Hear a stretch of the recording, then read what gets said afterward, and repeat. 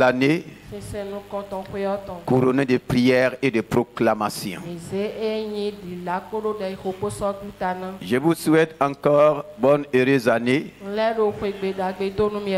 et bonne fête.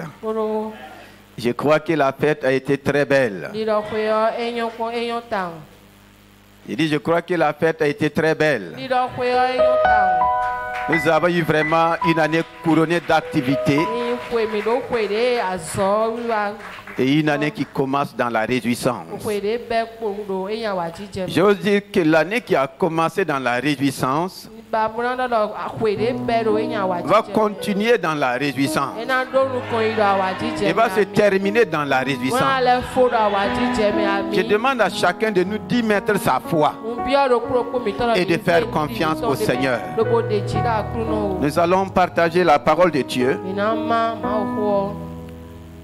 Le thème, voici, j'aurai moi-même soin de mes brebis. J'aurai moi-même soin. de mes brebis. Le Seigneur dit, regarde-moi, regarde cette année.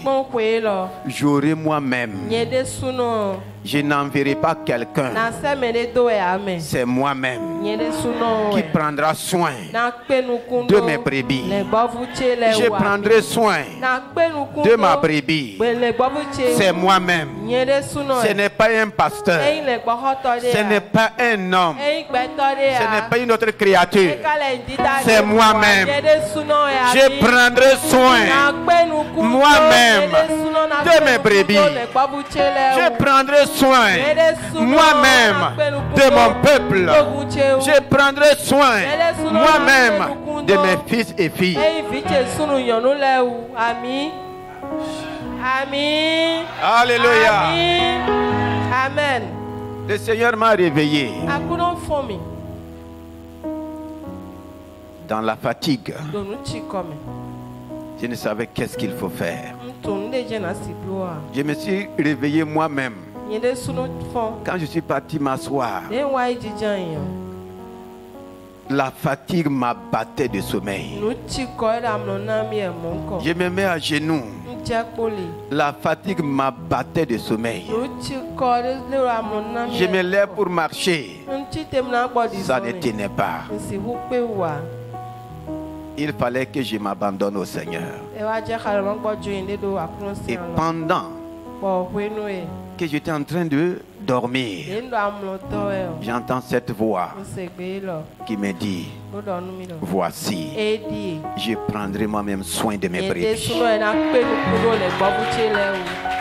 Alléluia. Amen. J'ose vous dire, j'ai vécu un miracle exceptionnel ce matin.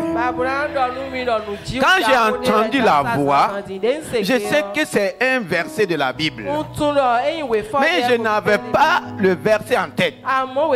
Tatsi. Je me suis réveillé, je suis parti prendre ma Bible. Yi. Quand j'ai ouvert la Bible, o. je ne le fais pas. Moi, je ne dis, la, la Bible n'est pas ma loterie. Il y en a quand ils se lèvent, ils font comme ça, et là, là où ils sont tombés, C'est là-bas qu'ils commencent à, à faire quoi? Moi, je ne fais pas comme ça. Mais ce matin, c'était spécial. Ìgbésàn. J'ai entendu la voix. Voici, je prendrai moi-même soin. De mes brebis. Et quand je suis parti pour prendre ma Bible, ìmúlẹ̀. quand j'ai ouvert, je suis tombé sur le même verset. Alléluia. Je me suis mis à genoux. J'ai dit, Seigneur. Ce n'est pas un simple rêve. Je Je n'ai pas entendu n'importe quelle voix. C'est toi-même. Et voici. Ézéchiel 34, Ézéchiel tàgbọ̀nukún ẹ̀nẹ̀. le verset 11. Ìhàmẹ̀ òró pogọ. Ah, je, je bénis le Seigneur. Je prendrai moi-même soin de mes brebis. Je n'ai pas osé lire les autres versets. Parce que les autres versets témoignent la faiblesse, la défaillance des bergers que le Seigneur lui-même s'est suscité. Ah oui. Il pourra lire après. Il dit, je prendrai moi-même soin de mes brebis. Es-tu une brebis du Seigneur? Ou bien tu es un sympathisant? Demande à quelqu'un, est-ce que tu es vraiment une brebis du Seigneur?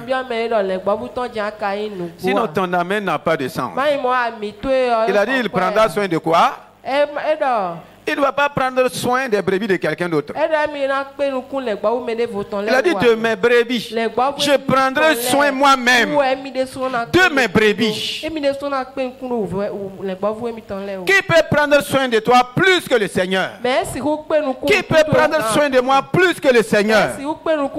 Nous avons compté sur beaucoup de soins. Mais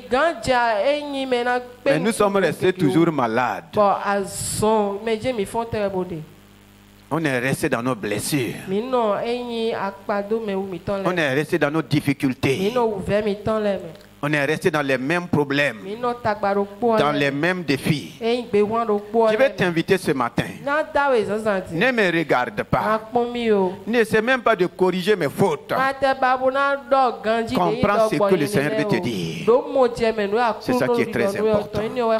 Je prendrai moi-même soin de mes brebis. Les hommes ont failli. Mais Dieu ne faillira jamais. Est-ce que cette année, nous allons permettre au Seigneur que lui-même, est-ce que tu auras les regards sur lui ou bien tu auras les regards sur un homme? C'est lui seul qui peut prendre soin de nous. As-tu besoin de ces soins? Ou bien tu t'es déjà taillé tes propres bergers? Tu as déjà choisi là où tu veux aller. Moi j'ai choisi qu'il prend soin de moi. Et ces soins, c'est les meilleurs. Nous lisons dans Ézéchiel 34 et le verset 11. Car ainsi parle le Seigneur l'Éternel. Voici, j'aurai soin moi-même de mes brebis et j'en ferai la revue. Alléluia. Amen. J'en ferai que quelqu'un dit, j'en ferai le revue. J'en ferai la revue. Le Seigneur va revoir ta vie. Il va revoir ton statut.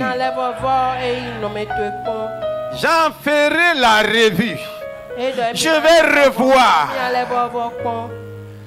Cette parole m'a touché. Il faut que le Seigneur revoie. Et dit, je vais revoir. Est-ce que tu es arrivé là où je veux que tu arrives? Est-ce que tu possèdes la vie que je t'ai donnée? Tout c'est pourquoi Christ est venu sur la terre. Tout c'est pourquoi il a payé un grand prix. Si quelqu'un dit qu'il va revoir, ça veut dire ça peut être bon, mais ce n'est pas arrivé je reverrai. Je ferai la revue. Alléluia. Amen. Le Seigneur fait la revue de son troupeau. Il fait la revue de chacun de nous. Sa revue, ce n'est pas comme tu révises ton véhicule. Hein. Ce n'est pas révision de moto. Mais regardez ces simples révisions. Pourquoi tu révises ton engin? Ton moyen de déplacement, pourquoi tu révises? Quand le Seigneur revit, il remet tout en neuf. Alléluia. C'est dit qu'il fera la revue. C'est dit il y a des choses qui, il y a des choses qui se passent mal. Il y a des choses qui te gênent. il va faire quoi? Il va revoir. Est-ce que tout ce que j'ai fait pour ma fille, est-ce qu'elle est en train de jouir? Tout le travail que j'ai fait, toutes les bénédictions que j'ai libérées, est-ce que mon peuple est en train de jouir? Je veux que tu sois attentif, que tu sois attentive. Mets ta foi. Ce n'est pas un livre d'un homme, c'est la parole de Dieu. Si tu crois que c'est la parole de Dieu, prends ça pour toi-même. Et quand nous allons lire, tu vas prendre point par point et commencer à bénir le Seigneur. Nous lisons le verset suivant. Comme un pasteur inspecte son troupeau quand il est au milieu de ses brebis éparses, ainsi je ferai la revue de mes brebis et je les recueillerai de tous les lieux où elles ont été dispersées au jour des nuages et de l'obscurité. Je les recueillerai comme un pasteur, comme un berger. Il y a eu tellement de choses qui nous ont dispersés. Mais le Seigneur dit, en faisant la revue là, quand on dit disperser, ça veut dire quoi? La dispersion t'amène à quitter ta position. Je croyais que tu allais dire Amen. Ça t'amène à changer du lieu que le Seigneur a préparé pour toi. Quand on dit qu'un peuple est dispersé, c'est-à-dire qu'ils ont quitté leur lieu d'origine. Ils ne sont pas positionnés dans les endroits que Dieu lui-même les a donnés. Il y a une dispersion dans le peuple de Dieu. Les brebis sont dispersées. Très peu connaissent leur position. Est-ce que tu es dans ta position privilégiée? Ou bien tu viens à l'église seulement? On est dispersé. Personne ne sait jouer efficacement son rôle.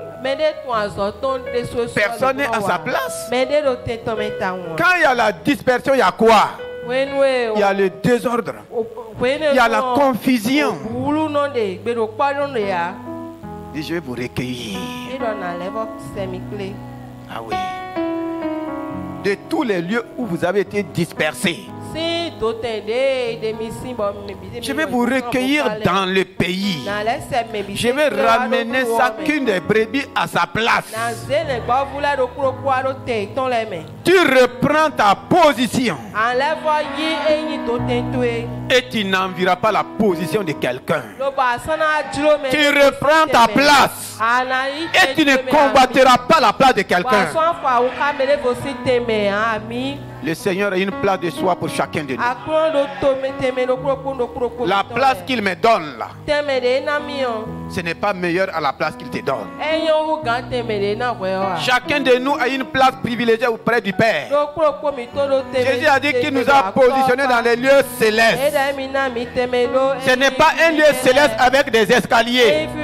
D'autres sont en bas, d'autres sont au milieu et d'autres sont en haut. Ce n'est pas cette position. Je vous rassemblerai. Note cela et bénis le Seigneur. Le verset qui suit. Je les retirerai d'entre les peuples. Je les rassemblerai des diverses contrées et je les ramènerai dans leur pays. Je les ramènerai dans leur pays. Je les rétablirai sur leur héritage. Nous avons vu pendant la réveillon te ramener dans ton pays. C'est dans ton pays que se trouvent toutes les sources que le Seigneur a préparées pour toi. Le pays que le Seigneur t'a donné, c'est un bon pays. C'est un pays où coule le lait et le miel. Je vais te ramener dans le pays que moi l'Éternel a préparé pour toi. Et j'ose te dire, ce n'est pas forcément le Bénin, même si tu es né au Bénin. Le pays de destinée là, ce n'est même pas forcément là où tu es né. Le Seigneur sait le pays qu'il a préparé pour toi et pour moi. Israël n'est pas né en Canaan. Abraham n'est pas né en Canaan. Mais Dieu a choisi Canaan pour, comme un bon pays pour lui. Et il a ramené faut pas en vouloir à Dieu pour, le, pour ton pays de naissance. Ton pays de naissance peut ne même pas être ton pays de destinée. Mais le Seigneur dit, je vais te ramener dans le pays. Il a bien fait de ne pas mettre un nom. C'est lui qui connaît le nom du pays. Le nom de ton pays. Si c'est le Bénin, il va commencer à manifester les bonnes choses dans cette nation. Mais ce que je veux que tu saches, le bon pays du Seigneur, c'est quoi? C'est son royaume.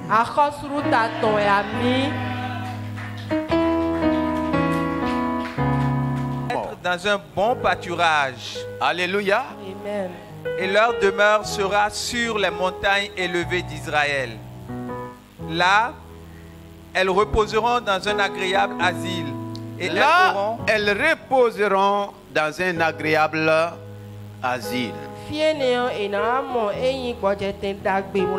Il te conduit dans le repos. N'est-ce pas lui qui a dit? Venez à moi, vous tous qui êtes fatigués. Et qu'est-ce que je ferai? Je vous donnerai du repos. Que le Seigneur te conduise dans son repos cette année. Qui rentre dans le lieu de repos que le Seigneur t'a donné. Alléluia. Amen. Là, ils vont trouver un véritable repos. C'est comme ça qu'il prend soin de toi.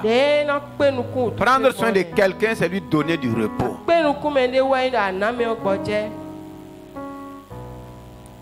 Là, là, elles reposeront dans un agréable asile. Alléluia.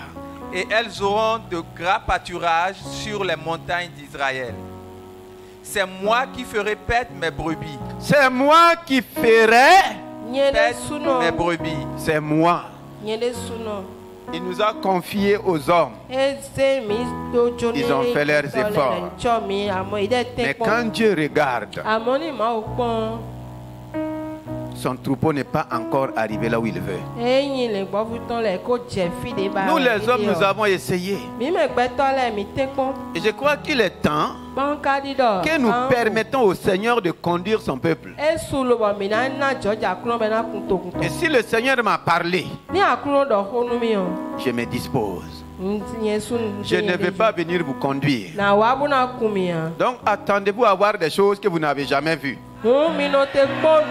Attendez-vous à voir attendre des choses que vous n'avez jamais entendues.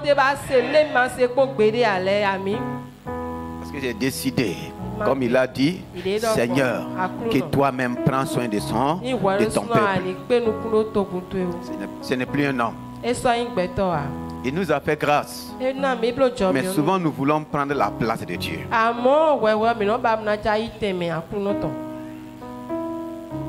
Ce n'est pas un responsable. Je prendrai soin. C'est moi-même. Il a dit qu'il est le bon berger. En dehors de lui, il n'y a pas de bon berger. Il n'y a pas de bon pasteur. C'est Christ le bon. Si vous lisez eh, le début du chapitre, vous allez voir la défaillance des hommes. Dis maintenant. Je ne sais pas pourquoi le Seigneur a dit ça. Mais lui seul sait. C'est moi-même. Et nous continuons.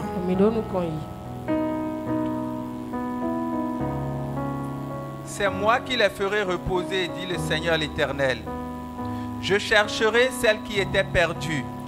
J'irai à la recherche de celle qui était est-ce que dans ta pensée, tu as dit je suis perdu? Est-ce que tu, as, tu es perdu dans, dans ta marche? Tu t'es assis un jour, dis ah vraiment, je suis perdu. Dans les affaires, dans le foyer. Je ne sais pas là où tu es perdu. Dis, j'irai moi-même à la recherche. Si tu es perdu, le Seigneur te retrouvera. Et il va te ramener tu es désorienté, déboussolé. Il dit, j'irai à ta recherche. Moi, je te regarde, mais je ne sais même pas que tu es perdu. Dans tes luttes, tu es perdu. Mais quand lui te regarde, il sait que tu es perdu. Tu es en train de te débattre dans un endroit où personne même ne peut te venir en aide. Dis moi-même, j'irai à la recherche. J'irai à la recherche. Et s'il dit qu'il ira, c'est qu'il sait déjà là où tu te trouves. Il sait là où je me trouve. À quel endroit? Dans la souffrance, dans la misère, dans la pauvreté, j'irai moi-même. Et quand il va arriver, il n'y a rien qui peut te retenir. Il n'y a rien qui peut te retenir. Tout ce qui te tenait captif, captif, il va t'arracher de l'air et t'amener dans sa J'irai moi-même. Chercher celle qui était perdue. La suite. Je ramènerai celle qui était égarée. Je penserai celle qui est blessée. Alléluia. Celle qui est blessée. Qu'est-ce qu'il fait? Je penserai celle qui est blessée les blessures, le Seigneur lui-même va les penser. Il va les soigner. Fini les blessures. C'est pas là où tu es blessé. Les hommes t'ont blessé. Ton mari t'a blessé. Même ton pasteur t'a blessé. Mais le Seigneur dit, toute blessure là, je veux que tu ouvres ton cœur. Ne me regarde pas. Regarde au Seigneur. Si tu as une blessure et tu continues de porter la blessure, le Seigneur dit cette année, c'est le premier message. Si je prends cela à cœur, toutes les blessures, le Seigneur prend soin. Et je déclare, il n'y a plus de blessures. Fini les blessures. Et qu'est-ce qu'il fait encore? Et je fortifierai celle qui est malade. Je fortifierai celle qui est malade. Celle qui a perdu les forces à cause de la maladie. Je la fortifie. Le Seigneur fortifie les brebis faibles et les rend fortes au nom de Jésus-Christ. Je vais guérir celle qui est malade. Cette année, la bonne santé va régner. La source de la santé va couler. Qu'est-ce que le Seigneur fait? Mais je détruirai celles qui sont grasses et vigoureuses. Ah. Je veux les perdre avec justice. Je vais les perdre avec quoi? Ne t'inquiète pas de toutes les formes d'injustice. Il y aura toujours l'injustice parmi les hommes. Les hommes ne connaissent pas la justice. Mais le Dieu de toute justice, il dit, je vais vous perdre avec quoi? Avec justice. Ne cherche même pas à juger quelqu'un. Ne te fais pas juge. Parce qu'il y a des choses que tu ne comprends pas. Il y a des choses que tu ne sais pas. Dis, je vais les perdre avec justice. Toute forme d'injustice là, le Seigneur va régler. C'est lui qui manifeste la justice dans ta vie et dans ma vie. Tu dis, à l'injustice ici, ne t'en fais pas. Le Seigneur voit. Le Seigneur et c'est lui qui fait quoi? C'est lui qui fait justice. Est-ce que tu acceptes qu'il fasse justice? Ça te concerne, ça me concerne. Ne juge pas à tort et à travers quelqu'un. Si toi tu es juge, comment le Seigneur va te justifier? Si tu passes tout ton temps à juger les autres, comment le Seigneur peut te justifier? Je vais vous pêtre avec quoi? Avec justice toute forme d'injustice, le Seigneur les règle. Dans ta famille, dans ton foyer, il va traiter ton mari avec justice. Il va traiter ta femme avec justice. Il va traiter tes enfants avec justice. Je vais les perdre dans la justice. Fini l'injustice. Si c'est le Seigneur les hommes connaîtront toujours de l'injustice. Mais pas le Seigneur. Je dis bien pas le Seigneur. Alléluia. Le verset 22. Je porterai secours à mes brebis. Je porterai secours à mes brebis. À mes brebis. C'est un message prophétique. Parce que je ne fais que interpréter ce que Dieu dit. Je prêterai secours. Tu ne manqueras pas de secours cette année. Je ne manquerai pas de secours. Aucune brebis ne va manquer de secours. Le peuple du Dieu vivant ne manquera pas de secours. Quel que soit ce qui va pleuvoir sur la terre, quel que soit ce qui va arriver sur la terre, nous avons un secours puissant. Nous avons un secours vivant. Amen. Je vous prêterai secours. Dis le Seigneur. Amen. C'est en même temps la prière. Hein? Saisis et mets ta foi. Verset 23. J'établirai sur elle un seul pasteur. Ah, un seul pasteur. Un seul pasteur. Vous croyez que ce seul pasteur là, c'est moi? C'est un homme? Ah. C'est le Saint-Esprit. Yes, c'est pourquoi le thème de l'année est important. Si le Saint-Esprit est notre pasteur, il va nous conduire dans la croissance. Ah oui. Il va me conduire dans la croissance. Le verset 25. Je traiterai avec elle une alliance de paix. Je traiterai avec elle une alliance. Une alliance.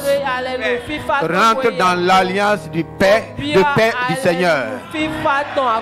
Rentre dans l'alliance de paix. Le Seigneur, je traiterai avec elle une alliance de paix. Dis Seigneur, je rentre dans ton alliance de paix. Fini les conflits dans le foyer. Fini les querelles. Les querelles entre brebis, c'est fini. Les ségrégations entre brebis, c'est. Les groupuscules, c'est. Il n'y a pas d'anciens, il n'y a pas de. Ah oui oser proclamer la parole de Dieu. Une alliance de, Il faut noter cela. Qu'est-ce qu'il fait encore? Et je ferai disparaître du pays les animaux sauvages. Ah. Amen. Amen. Donc il y a des brebis, mais il a quoi? Dis à quelqu'un, je ne suis pas un animal sauvage et j'ai intérêt à ne pas être. J'ai intérêt, tu as intérêt. Il va faire quoi? Il va les faire. Ne t'inquiète pas des animaux sauvages. Tu ne peux même pas les faire disparaître. Mais à quelqu'un dans animaux sauvages là, il y a tout. Et le Seigneur sait aussi qu'il y a tout dans l'église. Ne passe pas ton temps à parler des sorciers dans l'église. Ne passe pas ton temps à parler. Non, il dit les animaux sauvages. Lui-même, il les connaît et il les voit. Qu'est-ce qu'il dit? Je vais les faire disparaître. Je vais les faire disparaître. Ce n'est même pas la peine de te mettre en colère contre les animaux sauvages. Dis Seigneur, voici ta parole. Tu as dit que tu vas faire disparaître quoi? Les animaux les animaux sauvages. Quelle est la différence entre les animaux sauvages et les animaux domestiques?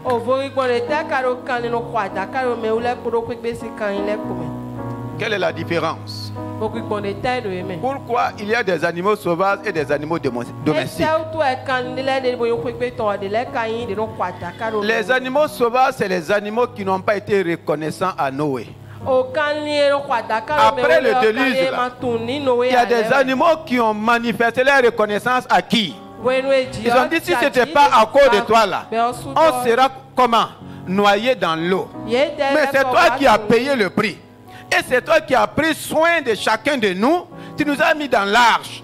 Nous, on préfère rester à côté de... Les autres ont dit, non. Ils ont refusé le changement. Ils n'ont pas été reconnaissants. C'est pourquoi Dieu les qualifie de quoi? Sauvage. Si on, te dit que tu es, si on te dit que tu es sauvage, est-ce que tu es content?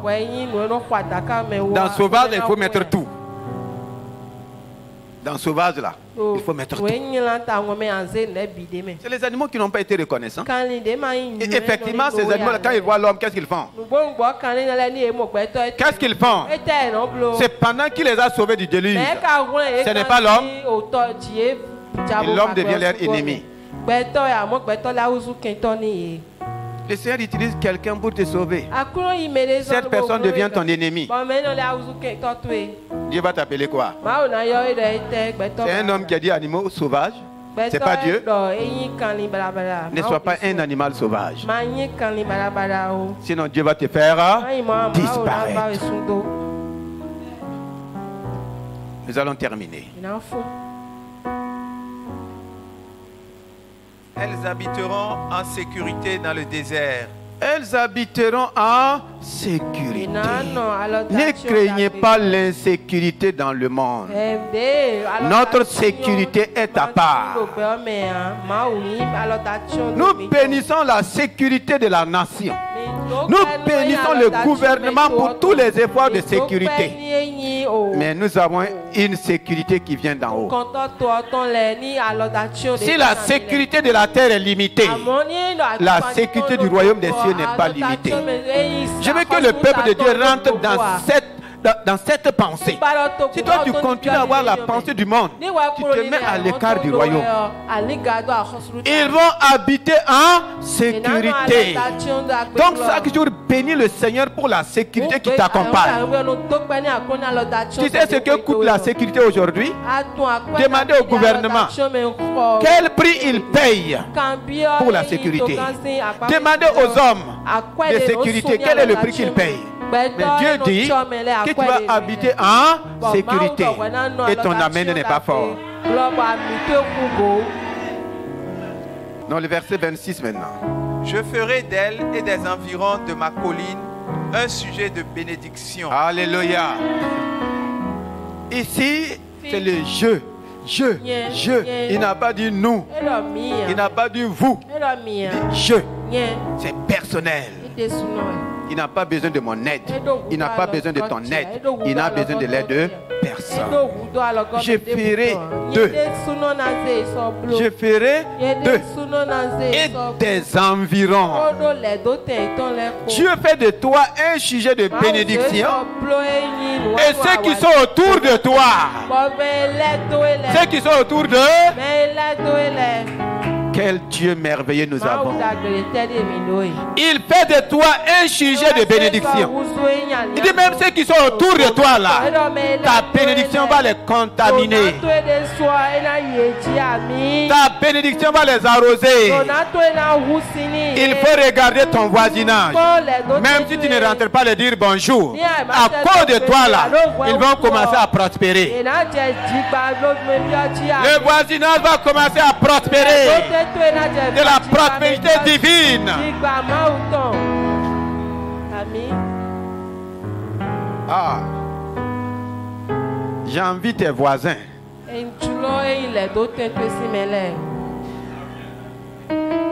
Oui. Après la bénédiction, qu'est-ce qu'il fait? J'enverrai la pluie en son temps. J'enverrai la pluie en son temps. Et ça sera une pluie de bénédiction. Une pluie de Cette année, toute pluie qui tombe, c'est une pluie de bénédiction.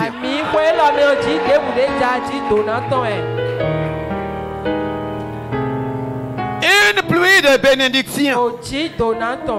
Il y a quelqu'un qui sera inondé de bénédictions.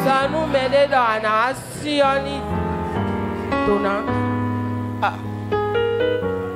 Quand on parle d'inondation, c'est qu'il y a pluie. Tu seras inondé de bénédictions. Inondé. Nous continuons pour terminer. L'arbre des champs donnera son fruit. Tu vas donner, tu vas porter beaucoup de fruits. Le verset 28. Elles ne seront plus au pillage parmi les nations. Alléluia. Personne ne va te piller. Personne ne va te voler. Tu ne seras plus au pillage. Pendant longtemps, le peuple de Dieu a été pillé. Tu ne seras plus au pillage. Je veux que chacun de nous prenne ces mots, ces paroles. Il faut que ça devienne personnel. Que ça ne soit pas la prédication du pasteur, mais que tu entends la voix de Dieu en train de t'adresser ces paroles. Tu ne seras plus au pillage. Si on t'a pillé, c'est la fin du pillage. Le verset 30, 29. J'établirai pour elle une plantation qui aura du renom. Alléluia. Je vais établir une plantation qui aura quoi? Du renom. Dans le nom, là, on a ajouté Ré. Jusqu'à présent, il y a un simple nom. Mais Dieu te donne. Renom, ça veut dire quoi?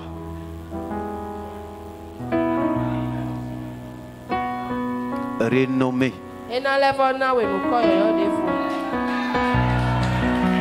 Renommé. Qui a déjà été nommé ici? Qui a déjà été nommé? Nommé ministre. Qui n'a jamais été nommé? Alléluia. Amen. Ah, qui n'a jamais été nommé?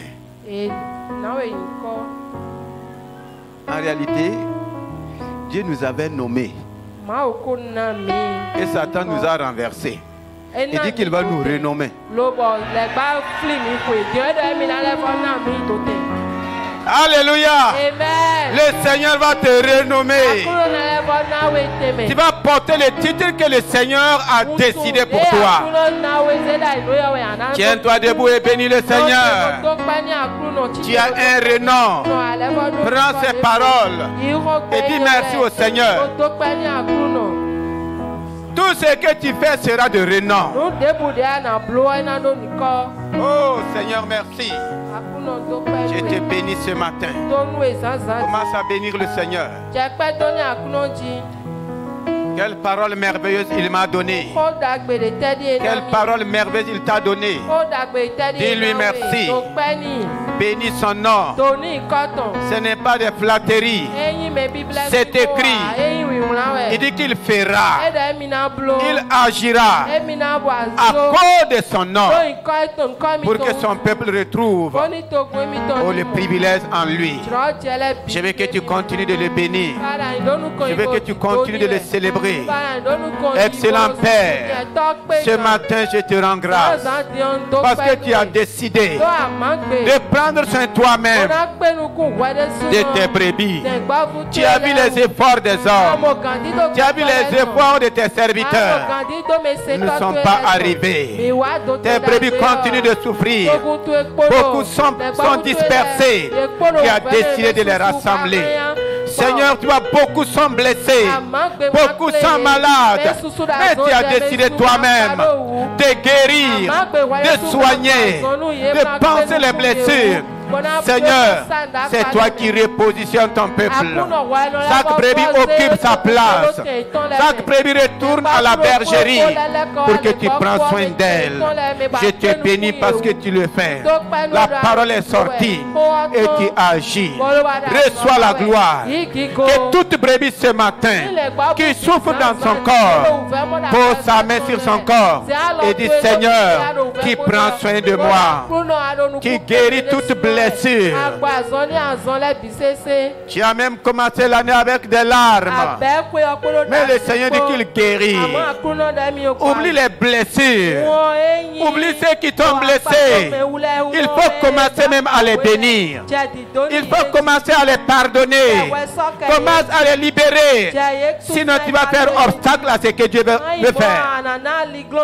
Seigneur, ce matin, je suis ta brebis. Je ne suis pas un animal sauvage. Je suis ta brebis. Tu as dit, tu prends soin toi-même de moi. Quel privilège, quelle grâce. Qui pense mes blessures. Mon cœur est blessé. Mon âme est blessée. Par les hommes. Dans le foyer, j'ai été blessé. Dans le service, j'ai été blessé. Même à l'église, j'ai été blessé. Mais c'est toi-même qui prends soin qui me guérit, qui me guérit qui me guérit au Saint-Esprit. Merci pour cette belle œuvre. Saint-Esprit, merci d'agir. Saint-Esprit, je te permets de d'œuvrer dans ma vie. Sois béni à jamais. Reçois ta guérison. Reçois ta délivrance. Il dit qu'il fait de toi une plantation de renom. Il dit qu'il te délivre de tout joug et te donne du repos. Seigneur, conduis chaque brebis dans son repos. Au Père, reçois la gloire et la louange dans le beau nom de Jésus-Christ. Amen. Acclame le Seigneur.